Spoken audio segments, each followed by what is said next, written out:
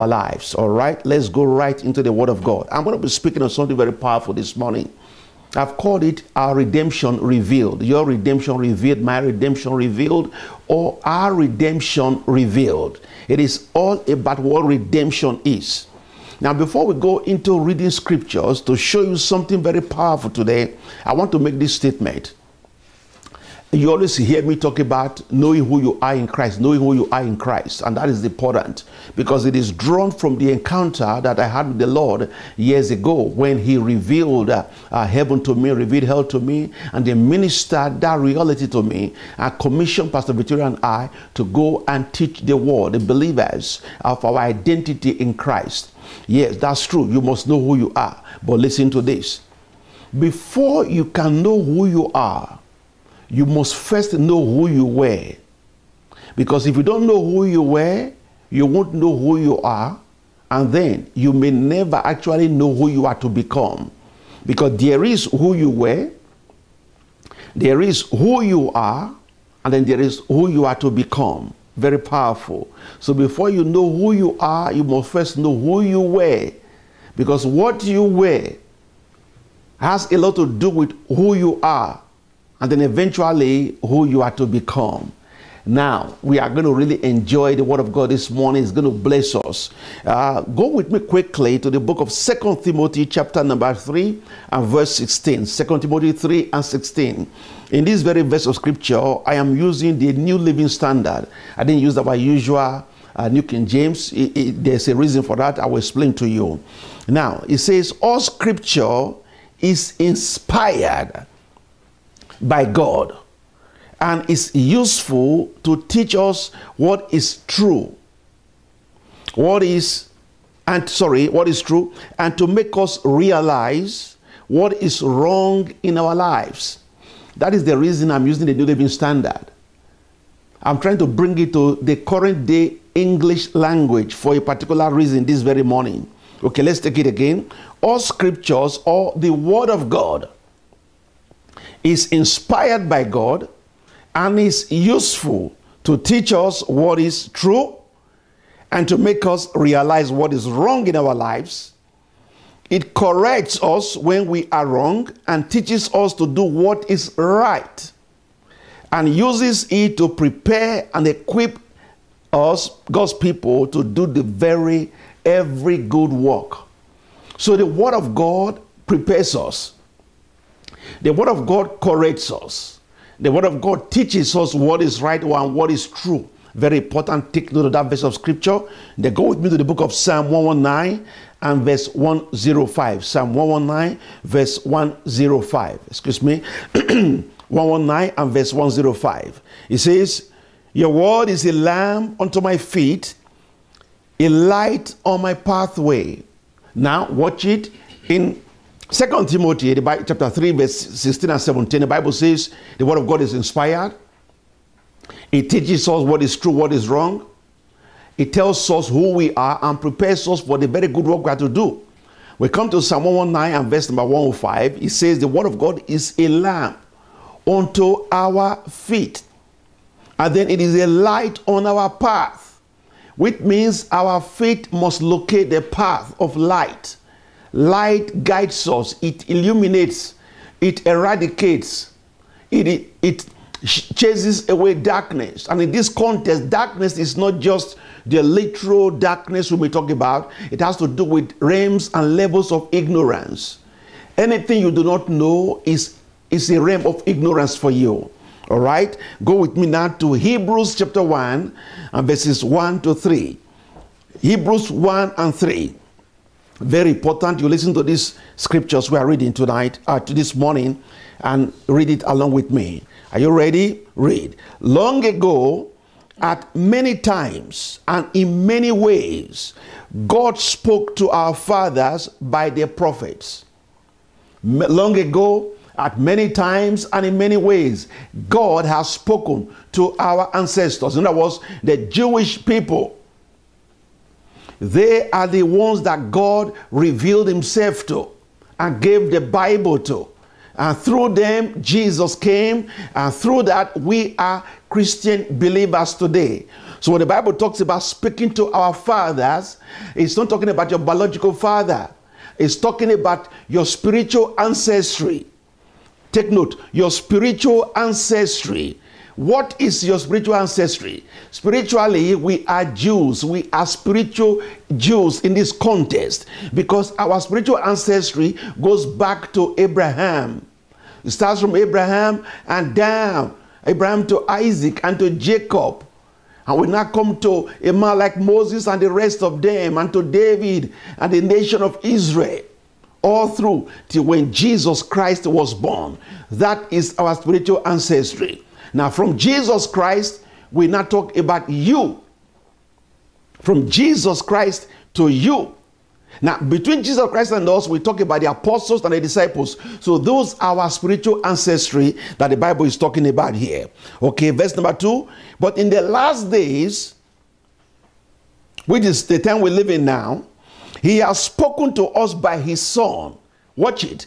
God spoke by uh, spoke to our ancestors, our spiritual ancestors, but now He is speaking to us by His Son, Jesus Christ. He's speaking by the Word of God, speaking through the Word of God to you and I today. And He says, in His last days, He has spoken to us by His Son, whom He appointed the heir of all things, through whom also He created the world. Verse 3 He is the radiance of the glory of God and the exact imprint of his nature. And he upholds the universe by the word of his power. After making a purification for sins, he sat down at the right hand of the majesty on high. Talking again about Jesus Christ. He said that Jesus Christ is the radiance of the glory of God Jesus Christ is the reality of God.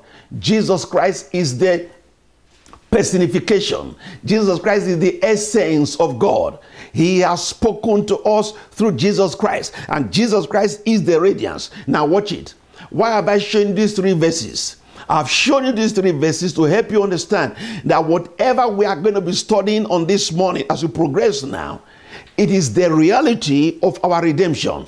First of all, it says the Word of God is inspired.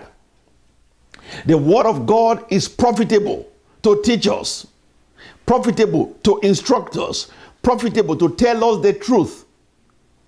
So, whatever we are reading, therefore, is the truth because it is inspired of God. It came from God. It is not the idea of a person, it is not the idea of Victor Phillips, it is the idea of God. That's what the Bible is saying. It is the idea of God because all scriptures, the word of God, was inspired by God and useful to teach and to teach us in what is true and to make us realize what is true and what is not true. That is the word of God. And it comes again to verse number 3 of Hebrews 3 Hebrews 1 and 3, he is the radiance of the glory of God. So, whatever Jesus has come to say to you and I is the truth. All right? I told you that I'm teaching on your redemption revealed.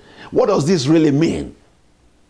Again, until you know who you were, you can't know who you are. And then you may never know who you are to become. First of all, we were something else before we became who we are. And then there is something we are going to become. Very important. In First John chapter 4 and verse 17. First John chapter 4 and verse 17. Scripture, uh, the scripture says here, basically speaking, because as he is, so are we in this world. As he is, so are we in this world. As he is, so are we in this world. As Jesus is, so are we. I personally believe that the greatest miracle of life is not financial miracle. And it's not the healing of your body, as great as they may be. The greatest miracle of life and in life to me we ever remain discovering who you are, discovering that you are a child of God, discovering that God is your Father, and that the Lord Jesus Christ is your brother, and that the Holy Spirit is your helper, your comforter, your teacher, who has come alongside to help you. And also remembering that you are a joint heir with Christ. Remembering that the angels of God have been assigned by God to watch over you. That right now, where you are, the angels of God are with you. They are on an assignment in your life. God has entrusted your care, entrusted your protection to their responsibility. And the last time I checked, these holy angels of God are obedient to the word of God. They are obedient to God. And so they must carry out the assignment of God concerning your life that is entrusted to them. So I repeat myself the greatest miracle in life is not the miracle of financial prosperity, it's not the miracle of the healing of your body. It is the miracle of knowing who you are, discovering your true identity. This is why it is important to know who you were and then who you are, and of course, who you are to become. And that verse of scripture we just read in First John 4 17 says, As Jesus is, so are we. That is benefit and revelation number one of your identity, of the mystery of redemption. As Jesus Christ is, so are we. Now, watch it. It is not how he was but how he is right now. Now, how is Jesus right now? He's the King of Kings. He's the Lord of Lords. And the Bible says he's seated in the heaven, he's seated at the, uh, by the right hand of the throne of God. And now the Bible teaches in Ephesians chapter number 2 that you and I are seated with him in the heavenly places. We are seated with him. So wherever Jesus is, there we are. Whoever Jesus is, so we are. Whatever Jesus has, so we have. A mazugaba. Listen to the reality of your redemption. Your redemption revealed. Now, this is not my idea. This is why I showed you those first three verses we read in the Bible, in Timothy, in Hebrews, and in Psalm, that you may understand that this is not Pastor Victor's idea. This is what I have discovered in scriptures. Like I mentioned to you, I was practically on my own when the Lord appeared to me and took me somewhere and showed me something and spoke to me. I have been privileged by Him to, to have encounters with Him, encounters with the Holy Spirit. I've been privileged by Him to even see the enemy and the defeat of the enemy, the reality of our redemption. So, what I'm telling you now is not my design, it's not my idea, it is a responsibility entrusted to Faith Factor Ministries. And by reason of my being the leader here, of course, my responsibility to teach you the truth. Hallelujah. Watch this now. In Second Corinthians chapter number 5 and verse 2, 21, 2 Corinthians 5 and 21. The Bible says, he that knew no sin became sin for us. Jesus, our Redeemer, did not know sin. He did not commit sin. He did not become a sinner, but he became sin itself. That you and I may become saints. He became sin that we may become saints. He became accused that we may be justified. He died for you and I not to die. He went to hell that you and I not to go to hell. Our redemption revealed. The question now is this. If we have a picture of what Jesus did on the cross, what Jesus did in hell, what Jesus did at his resurrection, what Jesus did at his ascension, and what he will do when he returns back. What, therefore, are the benefits of this reality to you and I? Very important. Very important. The benefit is this that you may rediscover your identity. You may rediscover who you are. The benefit is this you may rediscover whose you are. And in consequence, you live your life the way it has been written by God in the Holy Scriptures concerning you and I. Now, the Bible, God's Word, is a book of instructions. Again, it is like the manual that came with your television gadget through which you may be watching right now, or that owner's manual that is in your car, or any of those gadgets that you buy. They usually come with an instruction book. Now, you may encounter a situation in your vehicle or your gadget, whatever thing it is, I don't know how to resolve the issue, though the answer is actually written in your manual. The fact that your gadget has the problem doesn't mean that the manual didn't say the truth. The fact that you are able to resolve what will be going on with your gadget, like your television or your whatever set, electronic set, uh, uh, gadget you have, does not mean that the owner's manual does, does not reveal the truth of how to solve the issue. We are children of God. God is our Father, in spite of our experiences, in spite of what we may go through or what we have gone through. Just because you have gone through a challenging situation, a situation that has refused to, at the moment, to align itself, doesn't mean that you are not who God says you are.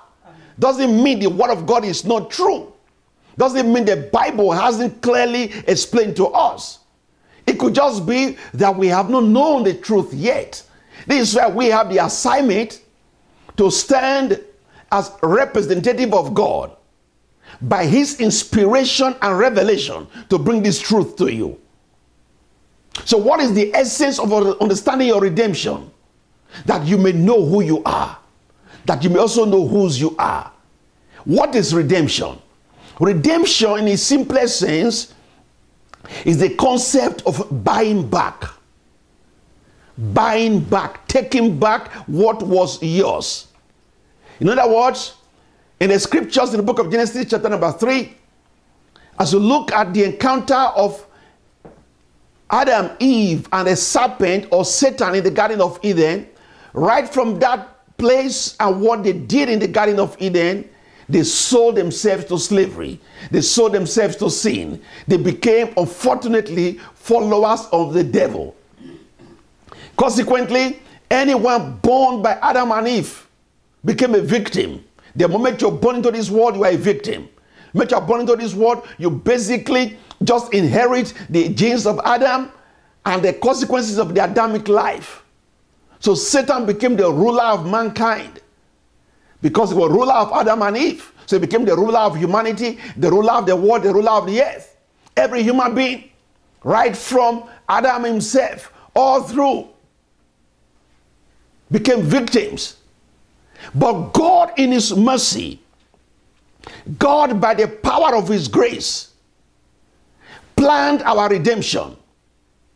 And by this redemption, it was to get us back from Satan. Remember, the Bible declares in the book of Ezekiel and many other scriptures in the Bible that the soul that sins shall die, whoever sins shall die. Again, don't forget, in Romans chapter number 6, he talking about the wages of sin being death. Romans chapter 3, rather, the wages of sin being death. Now, the Bible says that Jesus had to take our place as though he was the one that committed a sin. That's what I read to you in Second Corinthians 7 21. That he made him sin, he became sin. He that knew no sin, that we may become the righteousness of God in Christ. So Jesus gave himself in our place, he died in our place, and the full price for our high treason was paid. By so doing, we were bought back, we were redeemed. we were taken back to our Father, to our God, who is legally, by creation, by sustenance, and by spirituality, our Father and our God and our owner. That's how we were taken back. Now, we must understand what this means This is why we are teaching on redemption revealed. Hallelujah. Watch it. The Bible says in that verse of scripture again, 2 Corinthians 5 and 21, God literally imputed to him all that we were. All that we were. Until the very moment we turn to Christ, everything that we were, we are put on Christ. We are put on Jesus, our sins, the evil, the consequences, all of it, all that we were. Remember, Isaiah 53 All we like sheep have gone astray. All we like sheep, we have gone astray. So that stray life, everything imputed to him, given to him, put on him, that he might impute to us his own righteousness. What happened? An exchange took place. We gave him all that we were, and he gave us all that he is. We gave him all that we were, and he gave us all that he is. Watch it. Ours is in the past. He is, is in the present continuous. We gave him all that we were.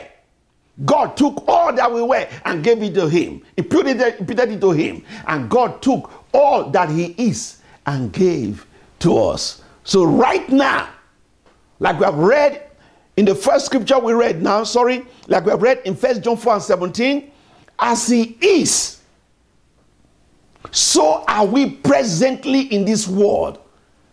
As he is, so are we presently in this world. As he is, so are we presently in this world. Are you listening to this? Watch it. In Romans chapter 8 and verse 29. Romans 8 and 29. Romans 8 and 29. The Bible says, For whom he foreknew, he also predestined to be conformed to the image of his son, that he might be the firstborn among many brethren, who God knew. Who God knew. Now, this is powerful. Remember, I told you, until you know who you were, you won't know who you are and who you are potentially going to become. Now, the Bible says, whom God knew in the past, whom God knew, such he also predestined to be conformed to the image of his son Jesus, that Jesus might be the firstborn among many brethren. Revelation 1 You were foreknown by God. God knew you. I said, God knew you, and God knows you. He knew you because He knew you and He knew His plans for your life. He knew His purposes for your destiny. And because, according to John 3:16, uh, for God so loved the world that He gave His only begotten Son, that whosoever believes in Him will not perish but have everlasting life. God predestined you. He predestined us to be discovered and to be recovered that we may conform to the very nature, character of Jesus Christ. This is what the Bible calls the image, that we may become as He is. that is what it means image, that we may become as He is. Amen. So you were, conf- you, were, you were predestined to become as He is. So if you are a born again child of God, and you are filled, baptized with the Holy Spirit right now, right there where you are, as He is, so are you. You were predestined to put on the image. In other words, that when God sees you and I, He doesn't see us. He sees his redemption. He sees he's redeemed. He sees Christ. And the Bible says, Christ in you, the hope of glory. Christ in you, the anointing. This is why you need the Holy Spirit. The anointing in you, the anointed in you, the hope of glory. Now let's keep reading. Watch it, watch it, watch it. Romans 8 and 29. For whom he foreknew. Say, God foreknew me. Say it right there at home. Say it. For God, God foreknew me. He also predestined to be conformed to the image of his son. Listen, Revelation number two. We are to conform to the image of his son. So whenever God sees you and I, he sees his sons and daughters. I love this. Whenever God looks at you, whenever God thinks about you, He's thinking about His son, He's thinking about His daughter. Now, watch it. This is powerful. Uh, we have so much to go through today. I don't know if we are going to be able to do this, but just listen to this now. Watch it. Whenever God looks at you, He sees His son. Whenever God looks at you, He sees His daughter. He does not see a sinner. He does not see a black man. He does not see a white man. He does not see an Indian. He does not see an Oriental person. He sees his son and he sees his daughter. He calls us his son. We are conformed to the image of his son. Listen, we are conformed to the image of his son. Mm. Are, you getting this now? We are conformed to the image of his son. So when God sees you, what do you think God sees? He sees his son. So forget about your skin color. Forget about what you may call your race. Forget about what you may call your career or your education. All those things are just there. But the reality is this whenever God sees you, He doesn't see a sinner. Can I even shock you? He doesn't see a Canadian. He does not see an African. He doesn't see an American, Australian, a European, an Indian. He doesn't see any of these natural identities. He sees the image of his son. Oh my God. He sees the image of his son. Now, let, let, let me try. I'm enjoying this so much. Let me try to let me try to paint this portrait. this is so powerful. Now, just for sake of simplicity, just imagine if you were to, if it were possible to put on, say, say Jesus Christ were physically present, and then you enter into him. so when he takes his walk, it's not you that is walking, he's the one walking. When he speaks, it's not you that is speaking, he's the one speaking, yet you are the one doing it on the inside. When he stands up somewhere, he's the one standing. When he goes out, people don't see Victor Phillips. They see Jesus Christ. Amen. Are you listening to me? Amen. Now that goes beyond imagination. It is more than imagination because that is the reality of scriptures. It says, Christ in you, the hope of glory. But what, what, what, is, the, what is this now? It's not only Christ in you, you are also in Christ. So there is a divine exchange. We are in Him, He is in us. I've taught you on this in, uh, in, in the book of John, chapter number 6, what I call the divine mingling, divine intermingling. We intermingled, and John chapter 16, when he talked about the Holy Spirit coming to us. This is called divine intermingling. We are in Him, He is in us. So when people look at you, whom do they see?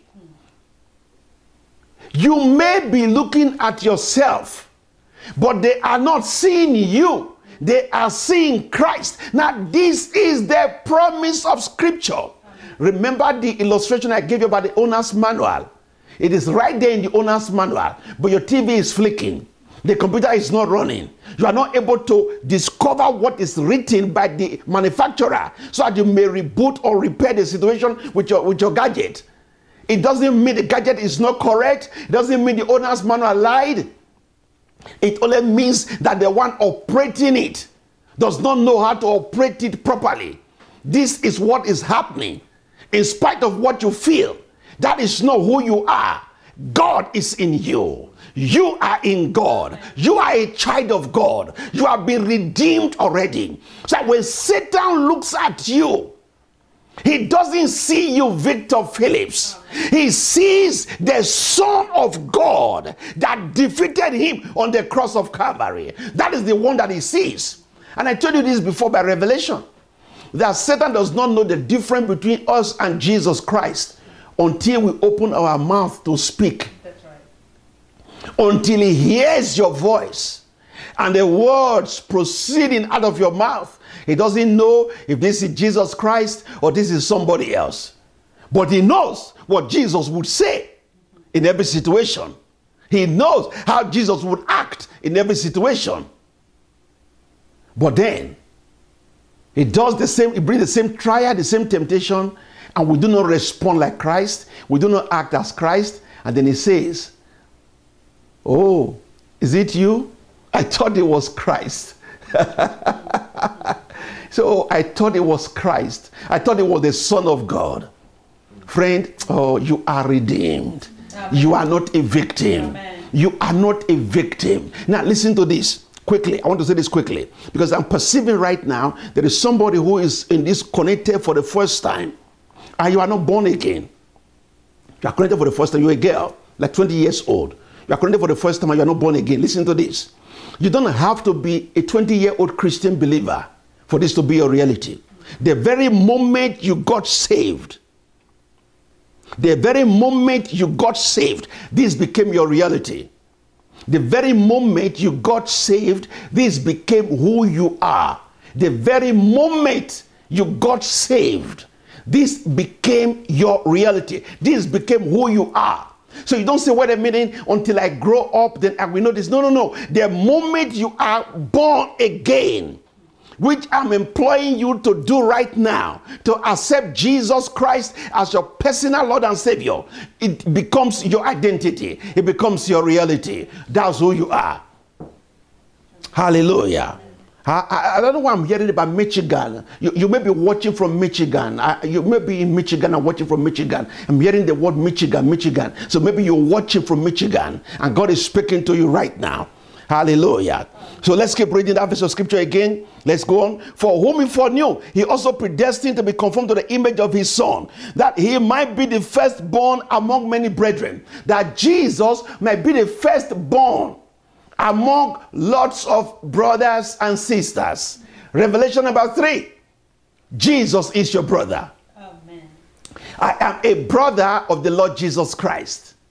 I am a brother of the Lord Jesus Christ. He is my elder brother, not eldest, no, my elder. Because there is none between him and me. There is none between him and me. There is none between him and me. I am directly after him. I am directly connected to him. Hallelujah. I don't have older brothers or older uh, siblings, and I don't have younger siblings. Every child of God connected to Jesus Christ are the same level, the same length, the same distance, the same connection.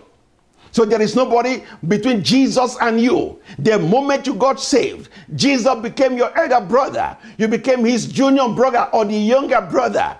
Hallelujah. That Jesus may be the firstborn among many. Revelation number four, you have many siblings. You have many brothers and sisters all over the world. So if you are a child of God, you are not lonely. You are not abandoned. You cannot be defeated. You can be connected this morning watching, and maybe your biological parents, biological sibling, biological whatever, or friends have abandoned you, turned against you because of your faith in Christ. Hey, don't be perturbed about it. You have so many siblings, billions of them, billions, billions, billions of them who are born again, tongue speaking, and going to the same heaven as you and God is your father, and Jesus is your brother, and the Holy Spirit is your comforter. They are your siblings all over the world. Revelation, redemption revealed. This is who you are. Are you ready for this? Amen. Turn with me now. Holy Spirit is not very powerful, very powerful. Oh, man, this is huge. In Second Corinthians chapter 15. Oh, I think it's First Corinthians 15. Maybe. Let, let, let me check. Let me confirm that. I wrote Second Corinthians there, but I'm thinking it's First Corinthians. Chapter 15. And we're reading verse number 45. Yes, it's First Corinthians 15 and 45. First Corinthians 15 and 45. It says, And so it is written, the first Adam became a living being. The last Adam became a life giving spirit. Mm. Now, this statement of scripture debunks a lot of religious nonsense that is out there. This is, I'm just going to branch out a little bit and come back here. There's a certain religion that claims that they are the follower.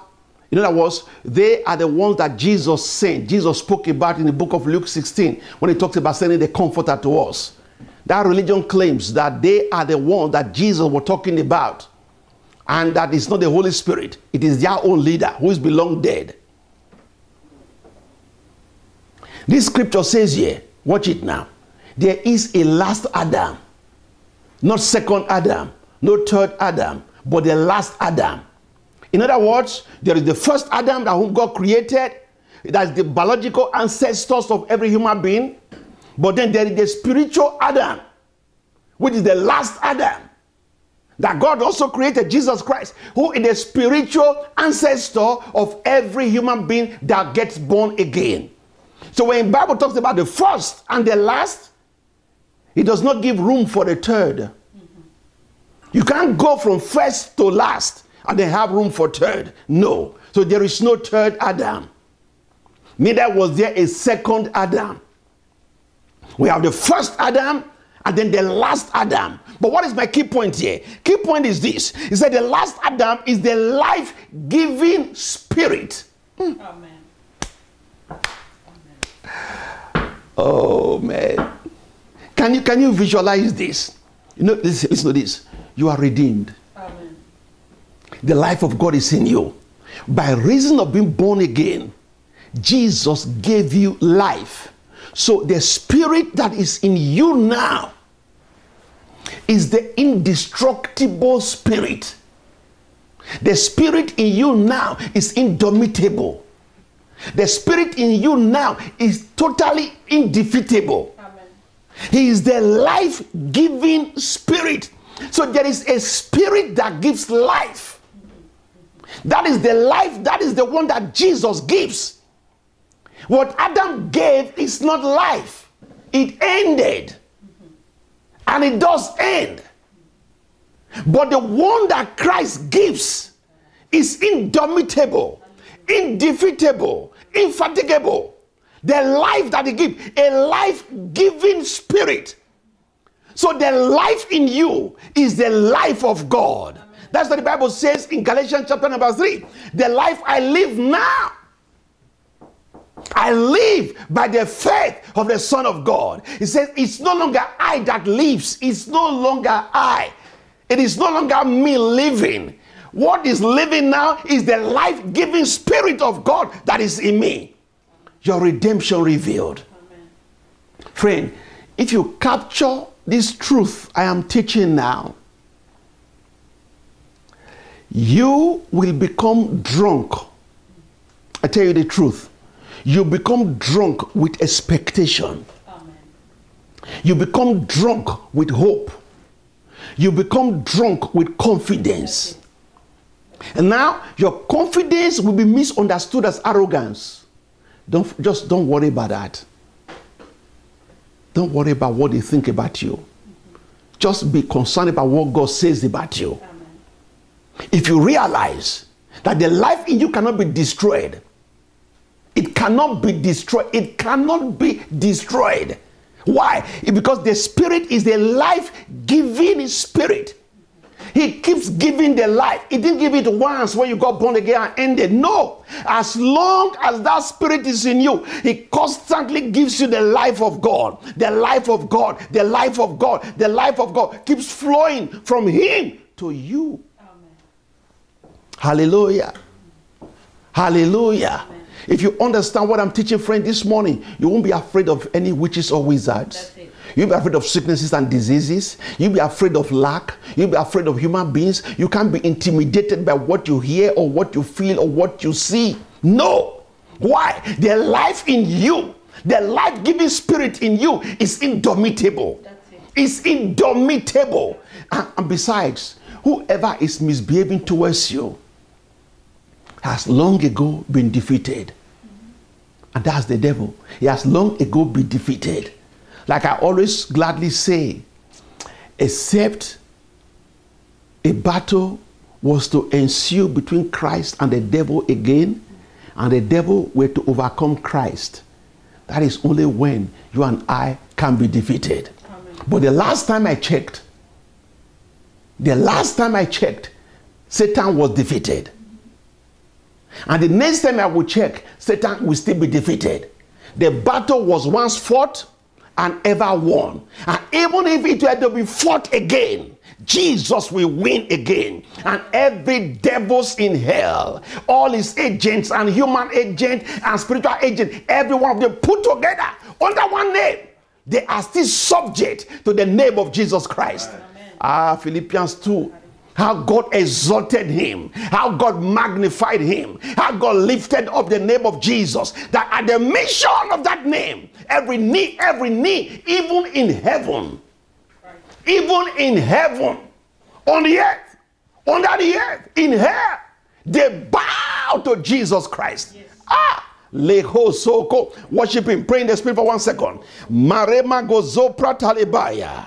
Zede, zede, zede. Aziki kotaru namasekete. Bele sabro malus. In the name of Jesus Christ. Hallelujah. Listen to this on that revelation. Now write this down. I hope you're writing down. Write this down.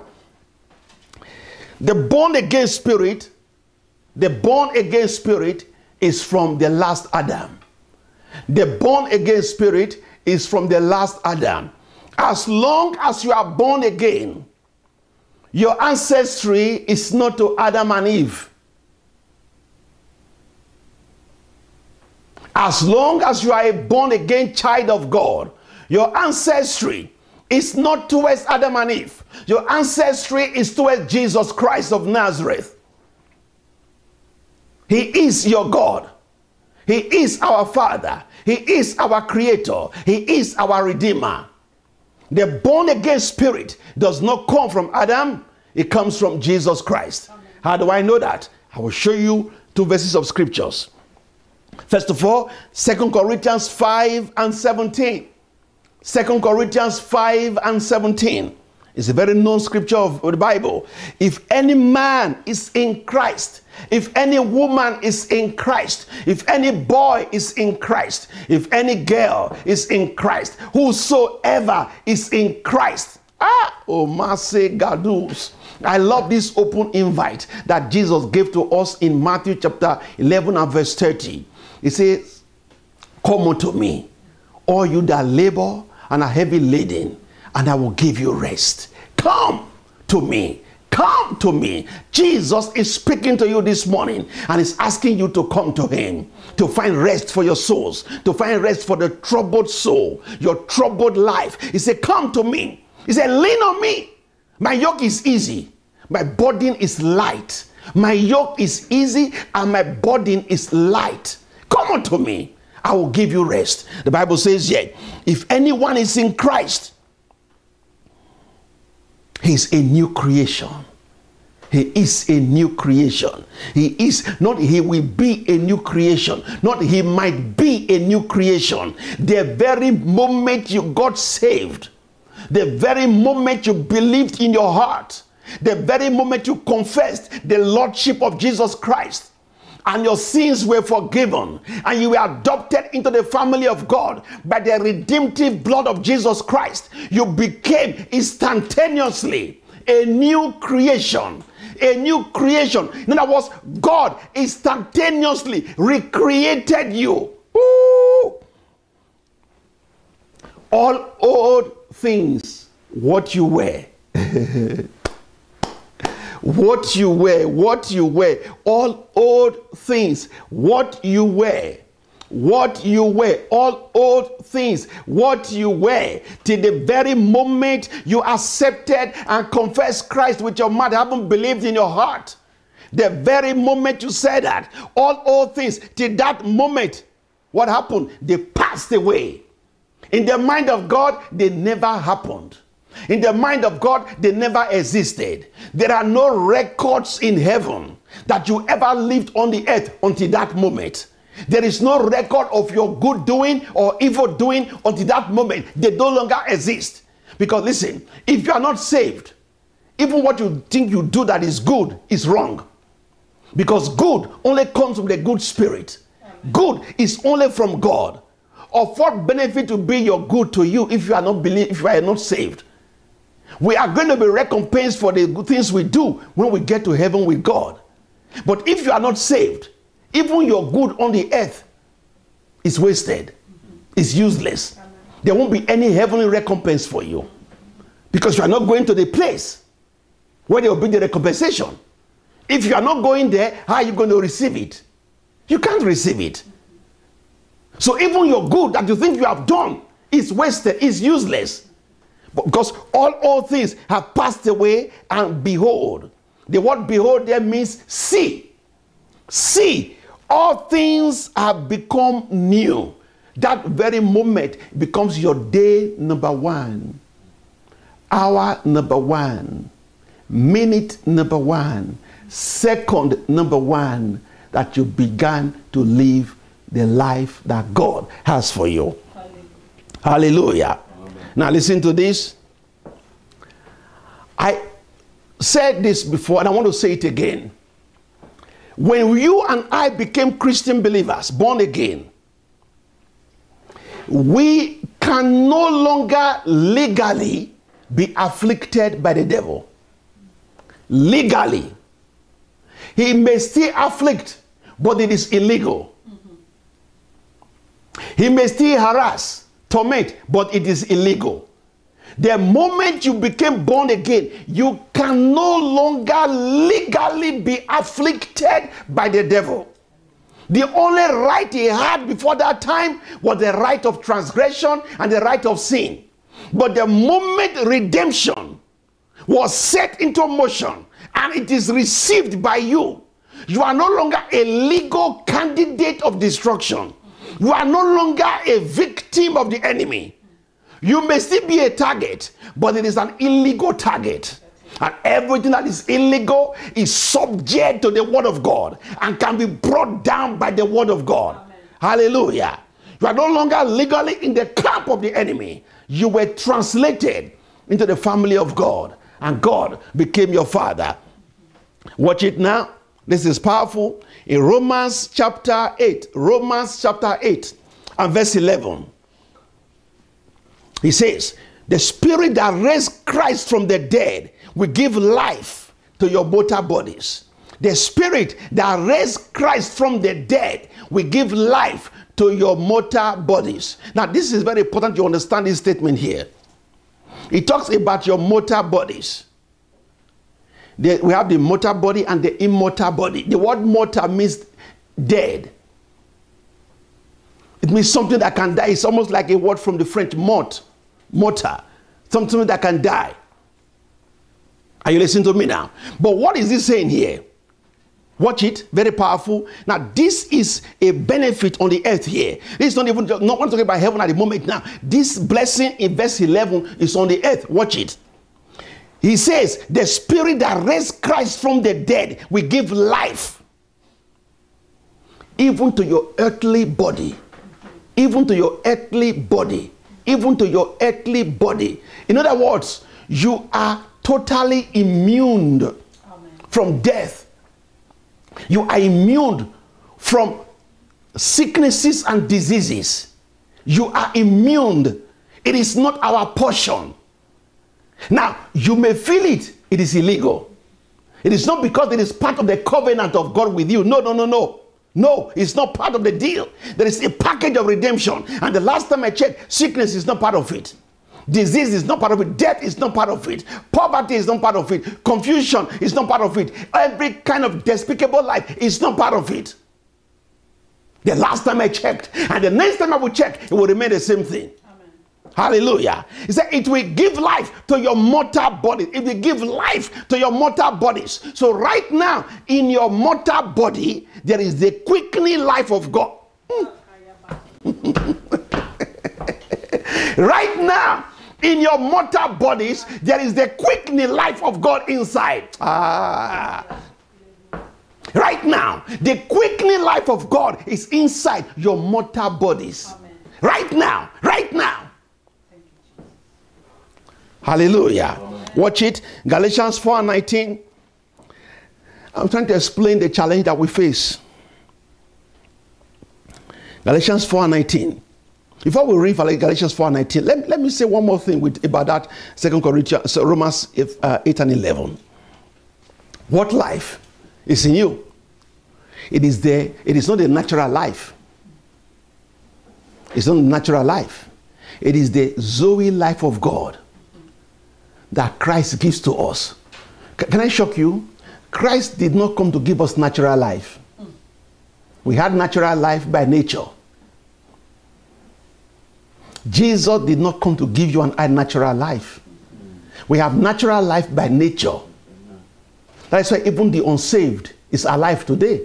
Am I, am I joking? No. You, you, know, you know people who are, who are not saved, but they are alive. They drive their cars, they live in their homes, they even fly private jets, but they are not alive, spiritually speaking. So the life that Christ came to give us is not the natural life. He came to give us the spiritual life because he is a spirit being. He came to give us the spiritual life. But that spiritual life will quicken you as a child of God now. That in your body will be the supernatural life of God. Amen. Now, but why do we face the challenge we face? Remember, we are looking at redemption revealed. In Galatians 4 and 19, it says, My little children, of whom I travail in birth until again, sorry, travail in birth again until Christ is formed in you. The Apostle Paul writing to the Galatian church, he called them my little children because, of course, just like you're watching this morning, you are my children in the Lord. Okay, let, let, me, let, me, let, me, let me say this now. You know, some time ago, I had talked about, you know, many of us were calling me Papa, Papa, Papa, Papa, Papa. I just, I, I didn't kind of want to be called that way. You know, okay, now listen, if you like call me Papa five times, that's fine. It's no longer a problem. It's, it wasn't a problem then. It is just, you know, I, okay, Jesus is Lord. Okay, you can call me Papa, just don't call me Pope. That's fine. Everything is fine. Hallelujah. All right. Now watch it. He says, My little children, just like you are to me, you're maturing in the Lord, of whom I travail in birth again. Stop one second. Why did Apostle Paul says, say travail in birth again? Again, in birth again. You were first born again. That was a birth for you. But Apostle Paul says, again in birth because they, it's, it's like bringing this revelation to them was another process of delivering them because they could not at the moment understand the reality of redemption. So it was like going back to teach the basics of redemption to them, the basics of salvation to them, the basics of Christianity. So instead of him teaching the higher dimension of teachings, he was teaching the elementary teachings to them. That's why I called it again. He said, I labor in birth again until Christ is formed in you, until you understand the intricate reality of redemption, Amen. until you perceive it, until you appreciate it, until you assimilate it, until you begin to manifest it. Mm-hmm. Manifesting what? Christ in you, the hope of glory the anointing in you, the hope of glory.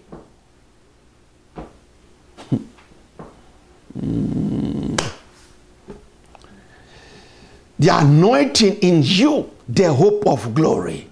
Friend, you are anointed. Amen. You are anointed. Amen. You are anointed. You have it. You have it by the Holy Spirit. The Spirit of God in through baptism is living in you now. Living in you now. Stop thinking victim.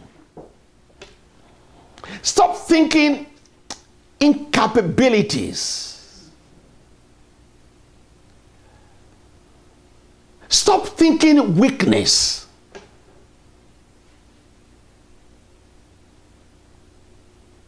Stop looking for help. You are not helpless. You have been helped already.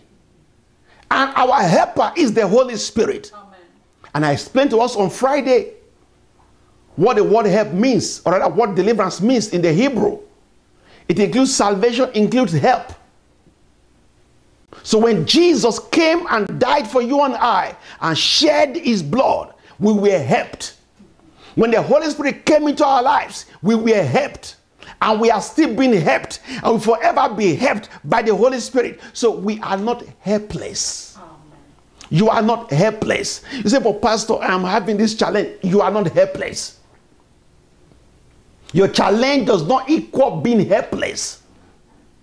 Your challenge does not equal being helpless. You say, Pastor, you don't understand. You are calling it challenge. It's actually more than challenge. It's so serious. I agree with you. You are still not helpless. Because greater is he that is in you than the enemy outside of your life. Are you listening to me? Watch it now. We are going to start enjoying scriptures more than we have already done. John chapter 17 and verse 10. John 17 and 10. Watch it. Oh. I wish I were in the church building where I can just run right now. Where I can just run. I don't have room to run here. John 17 and verse 10. Watch it. We're looking at redemption revealed. And all mine are yours. And yours are mine. And I am glorified in them. Jesus speaking to the Father. Watch it. Father, all mine are yours. All yours are mine. And I am glorified in them. So I am in them. My glory is in them. Hmm. Pastor Daniel, are you hearing this? Pastor Daniel, are you can I hear you? All mine are yours. All yours are mine and I am glorified in them. My glory is in them. And what is glory? All that I am, all that I have is glory. So all that I have and all that I am are in them. Our redemption revealed. All that Christ is, all that the Father is. Oh, Oh, all that the Father is, all that Jesus is, are in us right now. Amen. John chapter 17 and verse 10. And all mine are yours, and all and yours are mine, and I am glorified in them.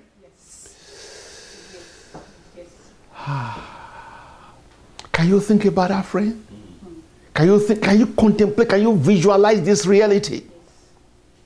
Can you visualize it? That all that God has, all that God is, are presently dwelling in you and I. Divine intermingling. Remember, we have the Holy Spirit, and the Holy Spirit is part of the Godhead because God is tripartite. In other words, He has three parts the Father, the Son, and the Holy Spirit.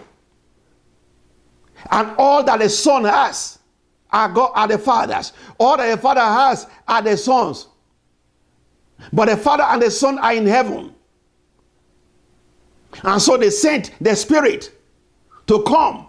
Their Spirit, not just their Spirit, but their Spirit that is called the Holy Spirit to come and dwell in us, to bring to us all that the Father has, all that ah, and all that the Son has. Because the Son, the Father, and the Spirit are one and the same. Amen. All the Father has, all the Son has. But the Father and Son are in heaven and we are on the earth. But we must not be left comfortless. Ah, we must not be left unhelped. So the Father and the Son sent their Spirit to come and indwell us with all that they have.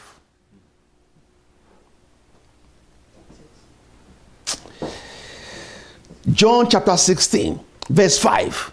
John 16 and 5. Everything that belongs to the Father is mine. That is why I said that the Spirit will take from what is mine and disclose it to you. That's it. That's it.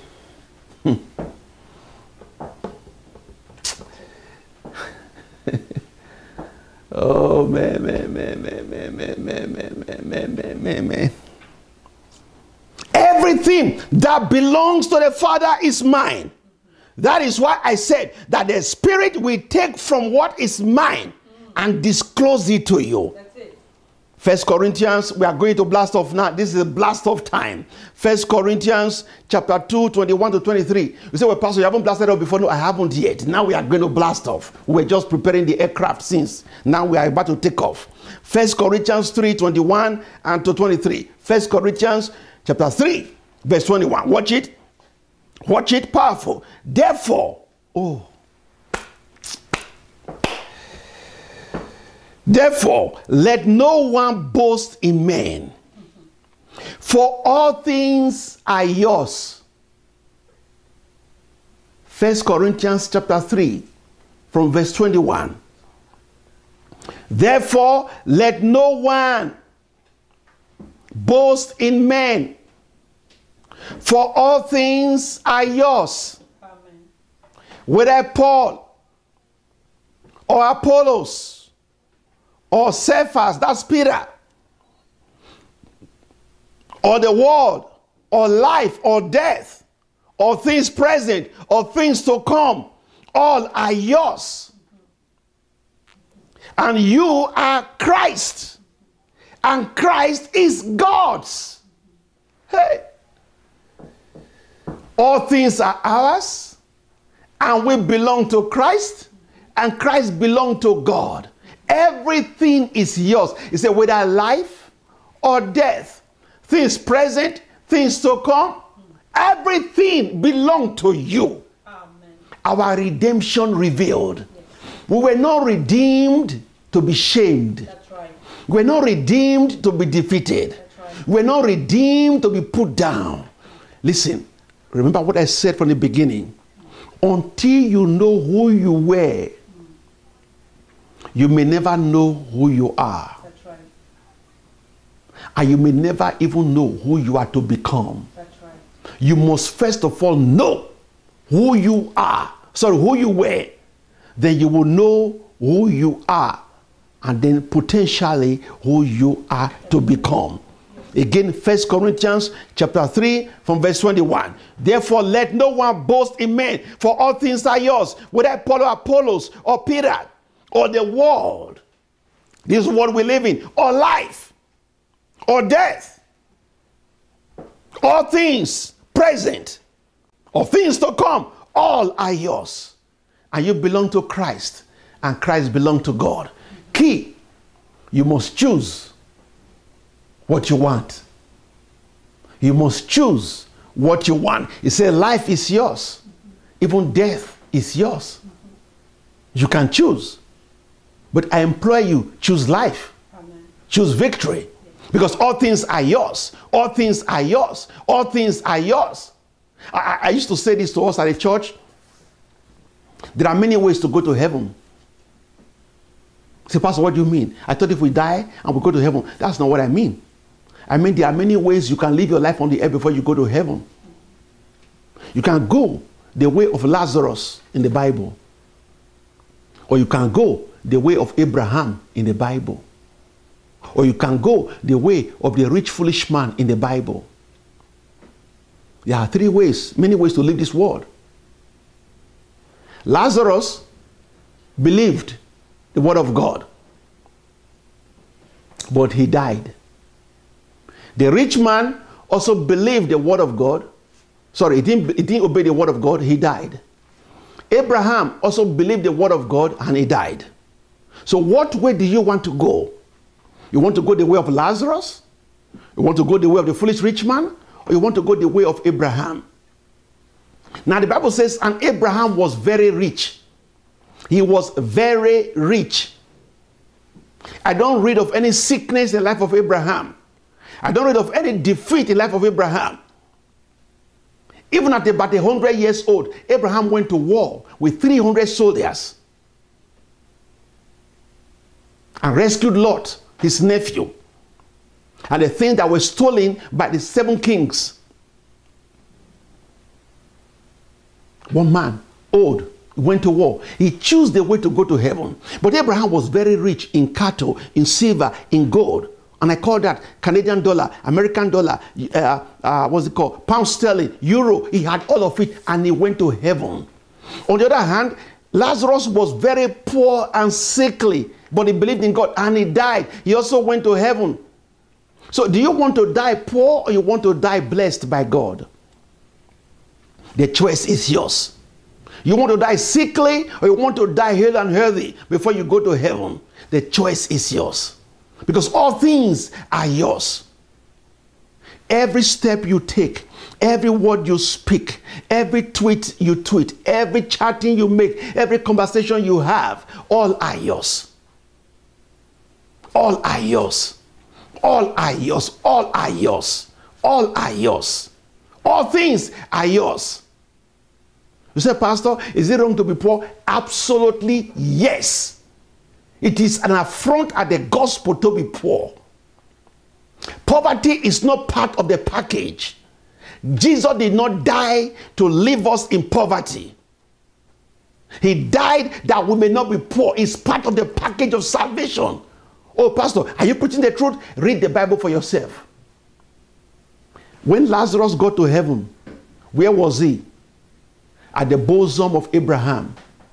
Abraham died with riches and he went to heaven.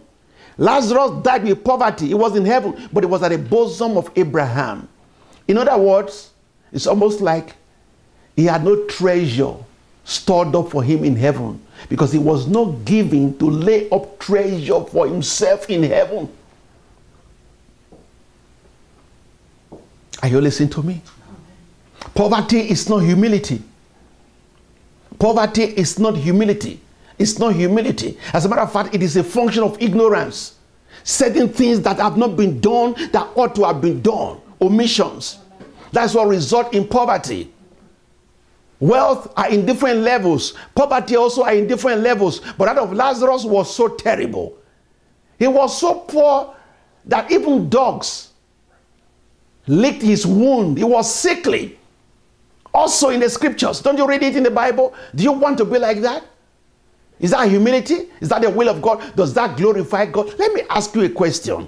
If you are a parent, and God forbid it will never happen, but you're driving on the street one day, God forbid, and you see your child on the side of the road, tattered, in tattered penury, and a beggar looking for uh, begging for alms with tattered clothes and sickly, and dogs are licking the body, licking the sores. And you are driving by in your car, and you see that child of yours that you raised up. Are you going to go to church the next Sunday to give a testimony? Pastor say testimony time. You jump up. I have a testimony. I have a testimony. What is it, brother? You know, I was driving by the street and I saw my child. He was so poor and sickly and begging on the street. Oh, God is so wonderful. I give God the praise. Would you do that? No. no. If you were to see your child in that situation, would you cry out your eyes? Mm. You will cry out your eyes. You will literally look for the devil to strangle him. Mm-hmm. Then, how do you think God is feeling?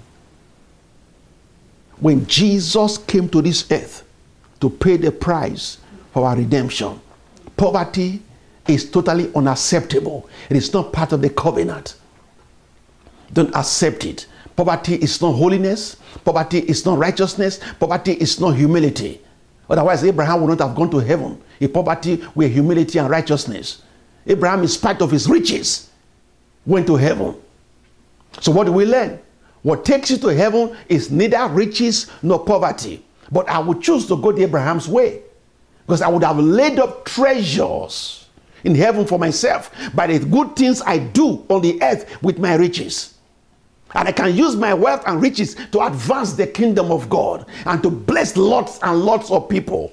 and help people and alleviate them from poverty to riches. Heal the sick. There are certain situations of life I tell you that don't require prayer. It just require dollar. You say, yeah, yeah, that's true. Certain situations don't require prayer. If you meet a man that is hungry of food and you have $100 in your pocket, to be praying for that man is wickedness. You meet a person that is starving, hungry for food, food, and you have $100, even $20 in your pocket. To begin to speak in tongues for that man is wickedness. And at best, it is ignorance and arrogance. You take out $20 and you give to the person. It doesn't require prayer. Let us not realize everything. Hallelujah. So life is yours.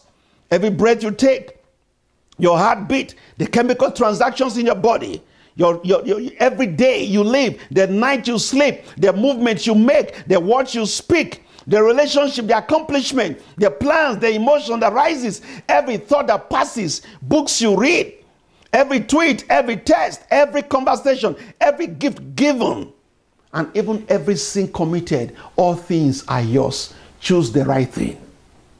Choose the right thing. Choose the right thing. The present is yours. Because the present is yours, the future is yours also. Remember the scripture we just read. Again, if you have forgotten, First Corinthians 3 21 and 23. All things, all things, all things, all things, not some, all things are yours, but you will choose the right one for yourself. All things are yours. Listen, everything that is yours is serving you right now. Everything that was created was created to serve you.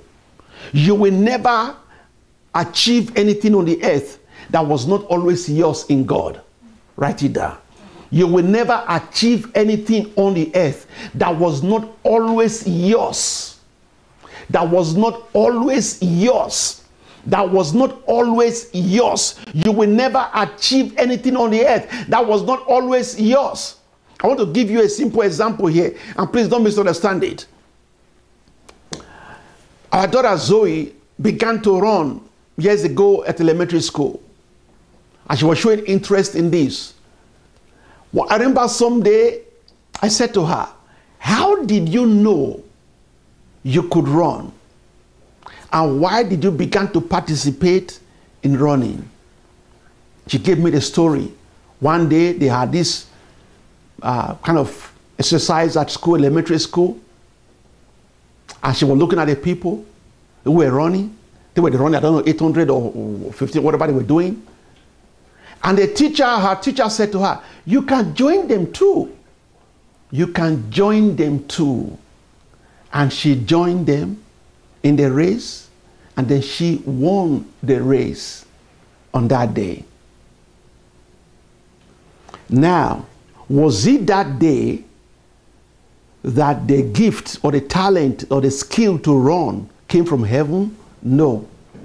It was always in her. It was already in her. But she did not know. I did not know. Pastor Victoria did not know. But God knew it was already in her. Read the story of Usain Bolt. Usain Bolt didn't start sports running. He had a different desire. Forgotten what, whether it was soccer or something was trying to do before. Until somebody told him, why not try running? And that thing today had made him, has made him a world figure, a public figure, and has made him a multi-millionaire. That thing was always in him. That thing was always in him. So you can never achieve on the earth right now anything that was not always yours. All things are always yours. They will always yours. They will always be yours. But we may never really achieve them. That is why you need to understand who you are and whose you are and the benefit of redemption. Are you still here with me? Amen. Friend, the future is yours. The future is yours. The future is yours. Not just the physical future here, the future that is called eternity belong to you and I. All things are ours in Christ.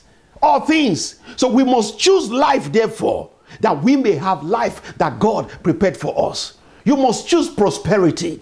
You must choose soundness of mind. You must choose intelligence. You must choose holiness. You must choose purity. You must choose faith.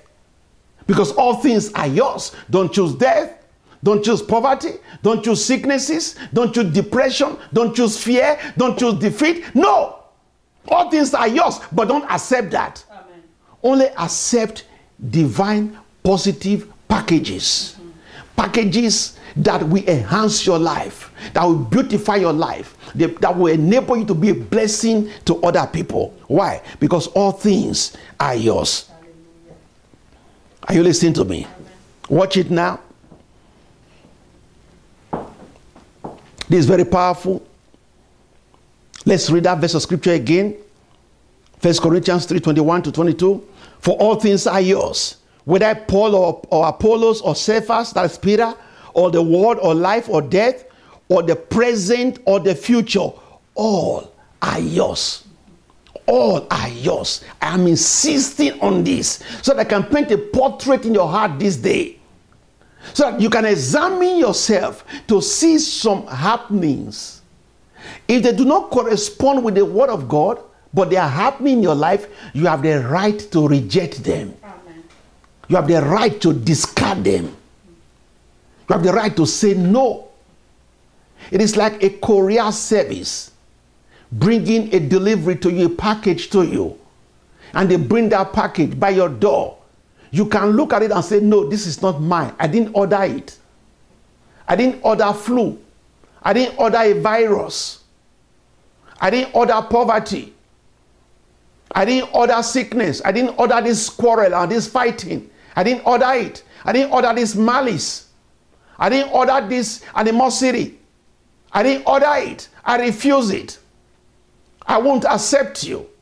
I didn't order this marital crisis, this uh, uh, divorce, separation. I didn't order it. I didn't order this alcohol. I didn't order this drunkenness. I didn't order this abuse, this alcohol. I didn't order this drug.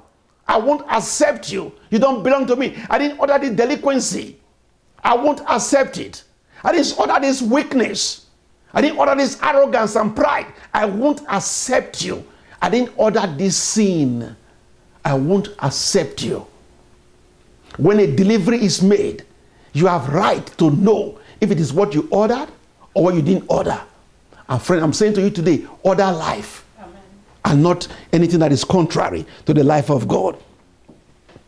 Now, I said all things belong to you, you are in Christ, and Christ belong to you. In closing, attempting to close, it's not a promise, in attempting to close, watch it. Romans chapter 8, verse 9. Romans 8 and 9. Say, anyone who does not have the Spirit of Christ is not his. Anyone who does not have the Spirit of Christ is not his. Now, do you have the Spirit of Christ? Hey, I do. Then you belong to Christ. And since you belong to Christ, everything that belongs to Christ belongs to you. Amen. Ah, everything that belongs to Christ belong to you. Since you belong to Christ, okay, let me ask the question again. Do you belong to Christ? Yes. That's your answer. And I agree with you. That means everything that belongs to Christ belong to you. Everything that belongs to Christ belong to you. What is? Watch it. Galatians chapter 3 and verse 2. Watch it, very powerful. If you have the Spirit, you are His. If you have the Spirit, Galatians 3 and 2, if you have the Spirit, you are His. So I ask you, did you receive the Spirit by works of the law or by the hearing of faith? Galatians 3 2. If you have the Spirit of God, the Holy Spirit, then you belong to Him. Then you belong to Christ. Then you belong to God. Then He said, So I ask you, did you receive the Spirit by works of the law or by the hearing of faith? Why am I adding that verse of scripture? To help you understand that what I have taught you today is received and manifested by belief. Received and manifested by faith. is received and manifested by belief. Belief cannot be belief except belief is accepted. You must accept it. Listen, everything you have ever experienced in life, good, bad, and the ugly, I must say this to you. Somewhere, somehow, they were accepted. They were accepted. They were accepted. Look at the testimony of our spiritual father. One of the testimonies he has given. Everybody knows this now. When he got married, and his wife was pregnant with their first child, it was at work. And then she had a miscarriage. She saw blood. There was a miscarriage. And she went to the doctor while he was at work. And the doctor said to the woman, This is a miscarriage. Now, was the baby in the womb is dead and is bleeding out. She returned home to wait for her husband. The husband returned back home and she told the husband what had happened that there's a miscarriage. The baby is dead and is passing out by blood. What was his response to the woman? No, that cannot be. Give me my food to eat. No, that cannot be. Give me my food to eat. And they never had any further conversation regarding that blood, regarding the miscarriage. That supposed miscarriage is the senior pastor of the church of more than 400,000 people today. Was there blood? Yes. Were there blood? Yes. Was there a miscarriage situation? Yes. Biologically. But he refused to receive the package that was sent by the devil.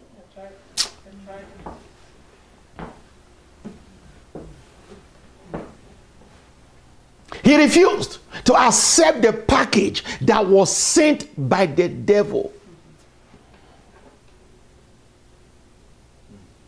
And that pregnancy, the guy is 30 something now, alive with a master's degree, married with children, and the leading pastor of that church of about 400,000 people or more. Today. Today. Today. Are you listening to me? Amen. A package was delivered, but the package was not accepted. He chose the right packages. I can go on and on with testimonies like that in our lives. You've heard it many times, all kinds of testimonies like that. By saying no to that which is unscriptural, but saying yes to that which is scriptural. And the just shall live by faith. So these things are not just heard, they are believed, they are accepted by faith. That this is who you are. It has nothing to do with what you are feeling. If you go by feelings, you will feel it. You must go by sense, spiritual sense, which is called faith, not what you feel.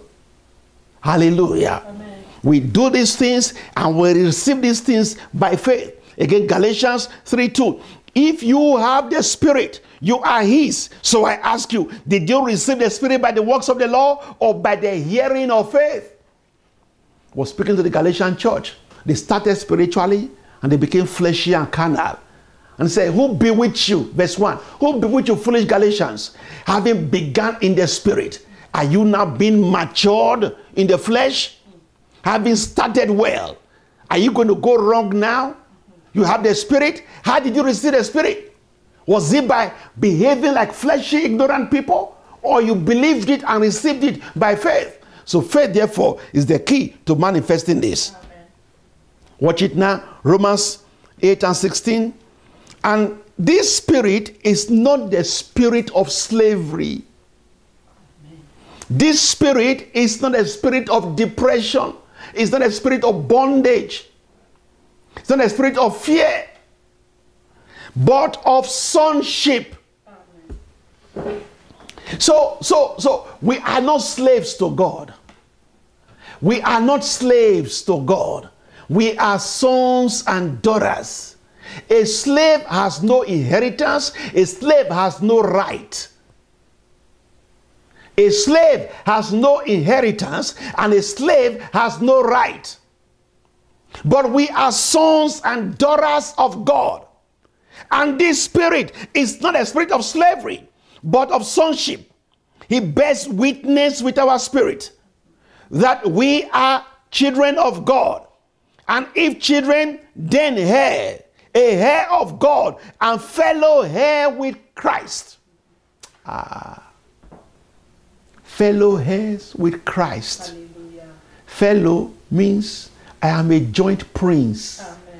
I am a joint prince. I am a joint prince. We are joint princes and princesses of Christ. No one is higher than the other. I am a prince of Christ, and you are a prince. And you are a sister, you are a princess. No one is higher than the other, no one is lower than the other one in the mind of God. Amen. But manifestation will be, may be different. Manifestation is the function of what we read in Galatians 3 and 2. Manifestation depends on how you believe it and how you respond to it. Watch it. Are you ready for this? Amen. Are you ready for this? Watch it now.